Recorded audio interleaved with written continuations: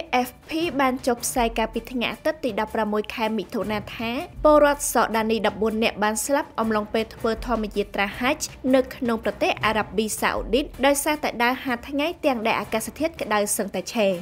ភេសជ្ជៈកីឡា V-Active បំពេញជាតិទឹកបានល្អនិងលឿនជាងទឹកធម្មតា យោងតាមក្រសួងការបរទេសសដានីក្រៅពីមនុស្សស្លាប់ទាំង14នាក់នេះក៏នៅមានពលរដ្ឋរបស់ខ្លួន17នាក់ផ្សេងទៀតដែលបានបាត់ខ្លួនហើយកំពុងតាមរកខណៈខ្លួនកំពុងធ្វើការជាមួយអាជ្ញាធរអារ៉ាប៊ីសាអូឌីតដើម្បីបញ្ចុះឬដឹកសាកសមអ្នកស្លាប់សូមបញ្ជាក់ថា Hajj គឺជាពិធីបុណ្យដ៏ធំបំផុតមួយក្នុងពិភពលោកខណៈឆ្នាំនេះបើតាមមន្ត្រីអារ៉ាប៊ីសាអូឌីតបានឲ្យដឹងថា មានអ្នកធម្មយាត្រាជាង1.8លាននាក់បានមកចូលរួម ទោះបីជាយ៉ាងណាក៏ដោយពិធីបុណ្យនេះក៏ធ្លាប់មានការគ្រោះមហន្តរាយនានាដូចជាការរត់ជន់គ្នានិងភ្លើងឆេះតង់ផងដែរប៉ុន្តែបញ្ហាធំបំផុតសម្រាប់ឆ្នាំនេះគឺអាកាសធាតុក្តៅតែម្ដង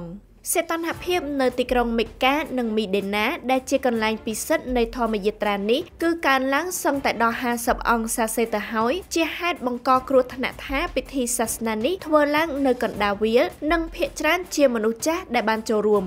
ប្រធានមជ្ឈមណ្ឌលឧតុនិយមជាតិអារ៉ាប៊ីសាអូឌីតលោកអៃមែនហ្គូឡាមបានប្រមានការពីសប្តាហ៍មុនថាសម្រាប់ឆ្នាំនេះធម្មយាត្រាហាច់នឹងប្រព្រឹត្តទៅក្រោមកម្ដៅថ្ងៃក្ដៅខ្លាំងជាងឆ្នាំមុនពី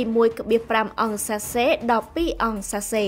សូមជម្រាបថាកាលពីឆ្នាំមុនមានមនុស្សយ៉ាងតិច